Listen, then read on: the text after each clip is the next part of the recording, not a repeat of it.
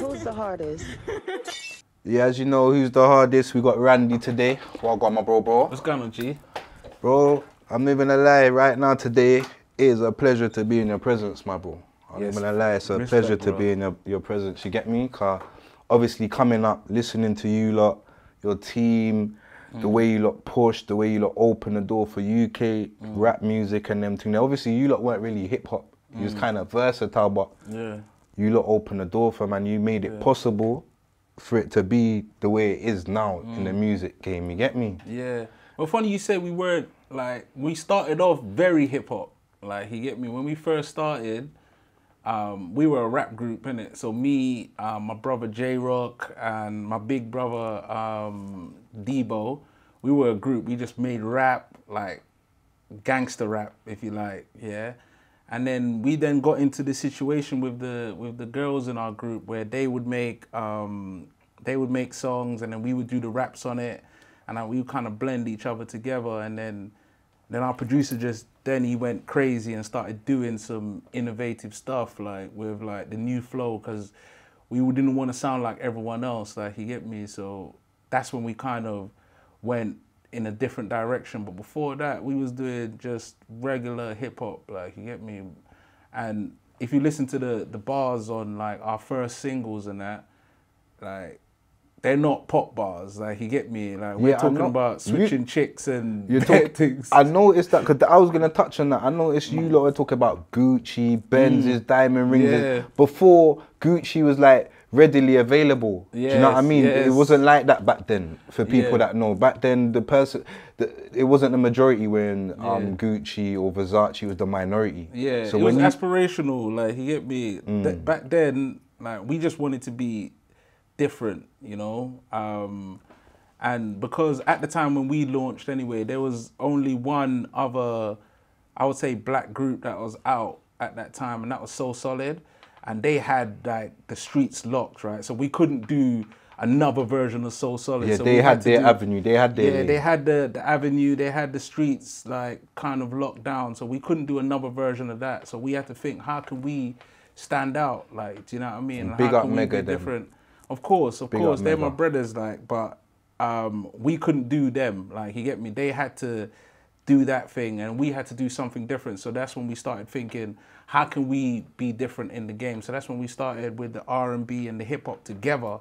Like, you get me? Because that was different. Like, and we wasn't garage, we wasn't on that scene, so we couldn't do that. So we had to do like hip hop and just make it a little bit different. Um, so that's when when they started coming up with different kind of beats, like the new flow beat is different. Like if you if you played it now, like you would not hear anything like It's it. It's got like a poppy vibe to it. Yeah. Yeah. It's it's it's not even pop because I can't even hear anything like it now. Like, but it's just had a like a bop to it, and then we just decided to to to mess with it and do something with it.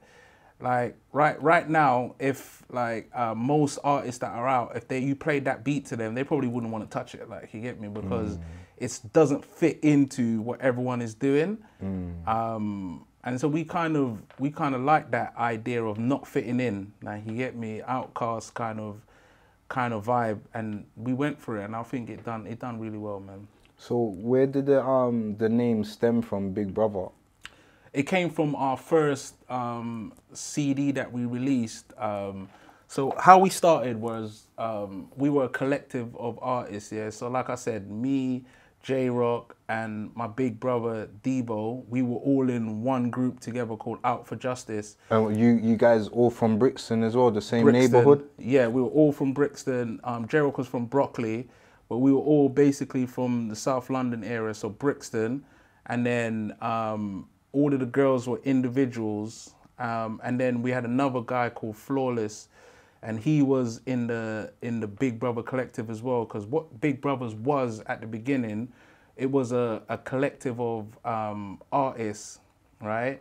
Um, the guy that put it together, his name is Skills. He was the producer, and he used to make um, some CDs back in the day called um, uh, Big Brovaz Watching You. Yeah. Okay. And the CD was called Big Brovaz Watching You because basically saying that we're watching the streets and seeing what's what's happening, and we're taking all the talent and putting them together. Um, and he used to do a, a- CD called the Mega Mix, Breakdown Mega Mix here, when he used to mix our songs in with American artists and and songs that and stuff like that. And he used to sell really well, like in the underground circuit, it sold really well. Um, like everyone was that when they were driving, they would have it in their car and that. So he made this Big Brovaz Watching You CD, and um, it sold like two thousand copies in the first week. Like they don't sound like a lot, but What was that like out of the boot? that's out of like CD bars. I don't know if they still got CD bars, but in like in the markets they would have like a a thing called a CD bar where they would just sell CDs and stuff like. So it was like a our own little bootleg kind of thing. Yeah, and just go leave, get an invoice from yeah, them. Two thousand copies in the first week. That was like unheard of. Like you get me. So it did really well. When we did that, it it got, caught the ear of some record execs, and they were like, "Yeah, this this sounds like something that we could do something with. What what what we gonna do?" But there's too much of them. That's what they said at the time. There's too many of them. We need to get the numbers down to a, a number that is um, doable. Yeah. Right. So then they they they then said, how can we make this work? So then um, my brother went to sit down for a little while, unfortunately, so he couldn't be in it. So we brought Flawless um, into the band, and then we had we just chose three of the girls, the three of the best singers out of the band, to be in the group as well, and then we called it Big Brovaz because that was the name of the CD that we were we were f- discovered from. Okay. Like you get me? It's called Big Brovaz Watching You. So um, that's how we got the name, and that's how we kind of got together in the beginning. Um, and then yeah, the rest is just the yeah music history. That you get me. Ah, that's a big look. So like, what kind of famous people was you rubbing shoulders with, like, like when you was coming up in the game? At that time, we didn't really because we was our own little unit, but we used to run into everyone. We used to run into the Robbie Williams, the the um, we we we did this award show in uh, Europe, um, and we saw. Uh, Mariah Carey, Usher, all of the all of the artists, like everyone that you can think of, 50 Cent, all of them. We, we run into everyone basically on our journey. Um, but one of the one of the most memorable moments was we did party in the park one time, and that was like a hundred and something thousand people in the park. We met the Prince, who's the king now, Prince Charles. We met him, and we met Beyonce. And Beyonce, because she was on the same label as us, she probably got to hear our music and that. She was like to the girls, "Oh, y'all can really sing. I heard y'all." And I was like, "What?" Oh, what Beyonce actually had a conversation with Yeah, you guys? Beyonce had conversation like she knew who she was aware of us. Like, you get me? So it, that was a bit like whoa, like Beyonce. Like you get me? Even back then, she was still like Yeah, yeah, she was still big. she was still A Beyonce even then. Like you Mm. get me? But I think that's when she started going solo on her own um, for the first time with Survivor and songs like that. So she was at Party in the Park as well. But we were label mates in it, so she would have heard some of our stuff maybe around the office and that. So that was like one of the biggest like Moments. That was the biggest artist that we've ever like had conversations with and stuff. But we we basically met everyone, so it, it was good, man. That's dope. So you see, like, obviously with your music, I'm sure it still gets spun today. How does it work with like royalties and stuff like that for people that don't understand? Like, do you, Well- are, are you still seeing checks off the back of what you done back then? Yes, so um, we still get we still get checks and stuff, but the way our deal was structured, it wasn't a good deal, and And that's usually like- the case. Like back then, a lot Yeah, of things have changed now because you could be your own record label now. Do you know what I mean? see that's why some things back then was better, and some things right now is better, because back then um, when you was a when you made it like you proper made it, in it Because people were invested in you, so it wasn't like a streaming service where they could just easily stream your music. They had to actually say, right, I like Big Brovaz. I'm gonna go into town and I'm gonna go and buy their their record. Like Yeah, you it get was me? a physical thing, They had to make a commitment to go and buy the the, the physical music, right? Mm. So that was more of a commitment from the, the people, but then also the record labels were unscrupulous back then. They didn't they weren't giving out great deals. And the thing about us is we um we made a lot of mistakes. Like you get me, as a group, we made a lot of mistakes. One of the one of the first mistakes we made, we had two deals on the table for us, right? one deal, one deal kept us um, more independent, and it would give us um, more percentage of our music, but less of a money up front. And one was like the deal that we went for, which was more money up front, bigger label, and we lose some of our independence, yeah.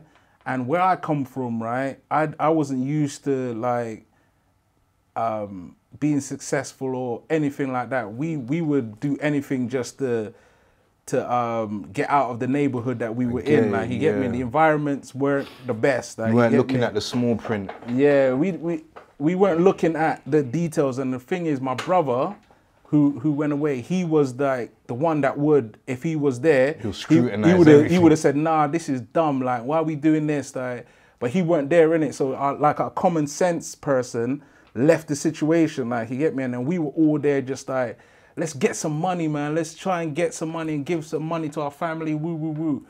Yeah, so we just went for the the the big money up front one, which was dumb. Like now I know that's dumb, but then it didn't seem dumb. Then it seemed like the right move. Like you get me? So you feel like the other deal would have paid better for like the marathon, for the longevity. right. The other one was a marathon. This one was the The- sprint money. Yeah, the sprint, yeah. the sprint money. This was the Usain Bolt money. Like, get Mm. me quick.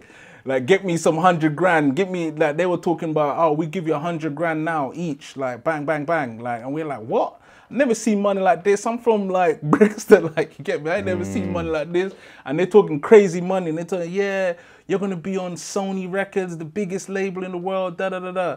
The other label was saying, we're not gonna give you any money up front. First of all, we're not giving you anything. We'll give you like little change and that, but we're not giving you money, but we'll give you more percentage of your music. Like, and now, now to me, that sounds like sensible. Like, but then I was like, nah, this is crazy. You don't not even trying. Like, you get me? You don't not even trying to get us. Mm. Like, you get me? So it was like a no-brainer to go for that deal at the time. But really, that was a dumb deal. Like, you get me? Now I see it like a dumb deal. Like, you get me? But we did what we did in it. And I don't have no regrets because at the end of the day, it's not about money. It's about like some of the memories that we The got. memories, you the can't, moment, 100%. you can't really rewrite that. And who knows? Maybe we would have went with that label and it would have flopped. Like, you get me? Because the late the songs that they were gonna put out first as well wasn't the The ones that you lot dropped. yeah, it wasn't the, in the same order. So they were gonna put out "Okay 1st Mm-hmm. as our lead single. They were gonna rework New Flow and do it in a different way, and they were just gonna do it differently, right? More urban, more like um, less pop, right? So who knows? Maybe that would have worked Hmm. Maybe it better. may not have. Maybe not, right? So um, we decided to go for the Sony deal, but like, like now, now looking back, we can easily say that that was the wrong decision. But who's to say? Like, you get me? It might have been the right one, might have been the wrong one. Who knows? Like, Yeah, no, I hear that. So I like the fact that you don't regret nothing in the past. So is that the same feeling like you guys as a group would there ever be like talks of a reunion or you guys doing shows? Do you do you guys still perform even? we still perform. Four of us, um, J Rock, myself, um, Cherise, and Nadia. We still perform as a as a group um, because you know Cherise and Nadia. You know they went and they did some um, dance music thing. They had Booty Luv, a group called Booty Luv as well, and they released songs like Boogie Tonight and a few other songs, and they did really well, right?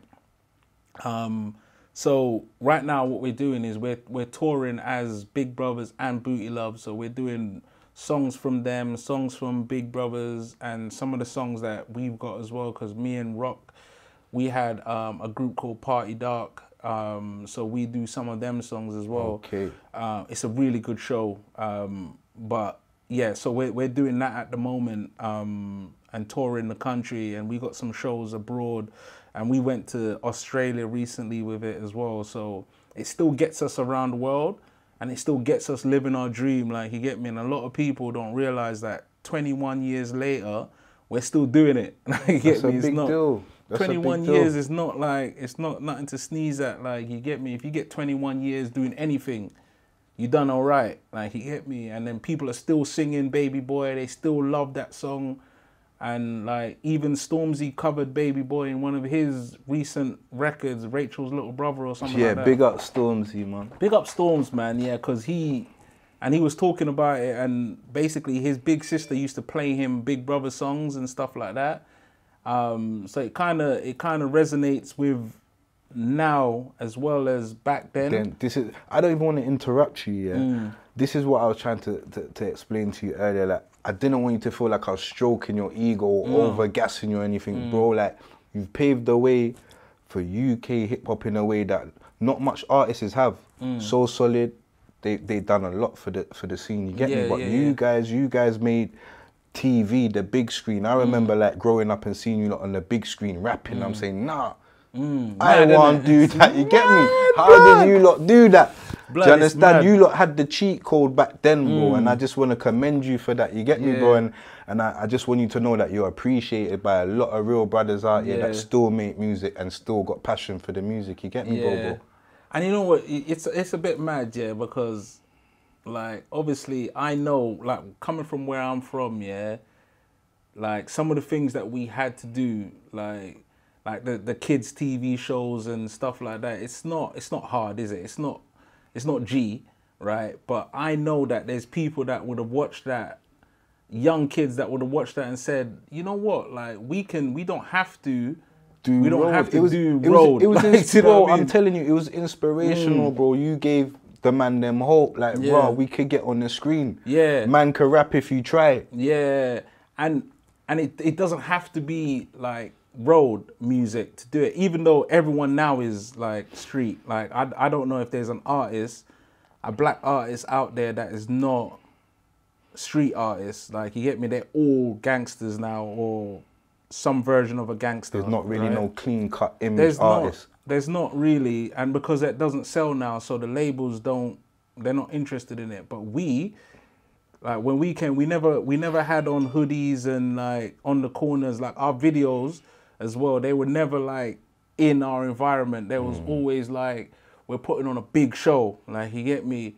And it was different like and i don't see a lot of difference now like in in the way the music industry is going. And um, that is not great like for for us but i guess that's the way things are now. Everyone is like a, a different version of this gangster guy that is out there but i don't know how much gangster is really in it but everyone is definitely a version of this gangster that's out there at the moment. But um and good luck to them because they're making money like more independence they've got more control of their music than we ever 100%. had It's really changed. like, do you know what I mean? And and I'm happy for all of them because I just wish that we had the chance to be as independent um, with our music because um, Big Brovaz as a group, we've got a lot of talent in the group, a lot of talent um, with the girls, with us,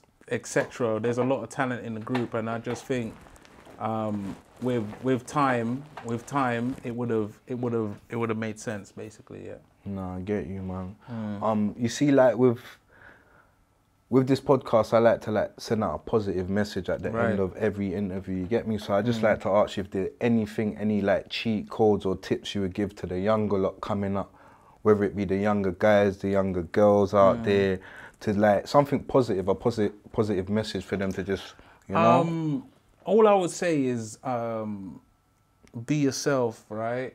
Um, because you, who you are is a, is a unique is a unique person. The way you get in trouble or you get caught up is when you try to be like everyone else. There's there's a lane for everyone. Like, do you know what I mean? So um, whether that be um, not music and you're doing something else, like, and whatever your passion is, like, go for that because it will it will bear fruit. Like, if it's the right thing for you, it will bear fruit. Like, you get me? So, a lot of a lot of times people just try and um, fit in and do what everyone else is doing, and um, my advice would always be to try and stand out from what makes you different from everyone else. Like you get me. So yeah, that's that's my only advice is try and stand out and be yourself. Like don't follow. Yeah, no, I hear that, Randy, man. I mm. appreciate you coming through, man. Yeah, And, respect, You know, like I said, it's good seeing you, and You're mm. welcome here anytime, my bro. Yeah, you get man. me? And we're gonna Let's shut go. it down now with the freestyle. Okay, My let's brother. go, bro. Come on, my brother. Love, Let's yeah? go. Who's the hardest?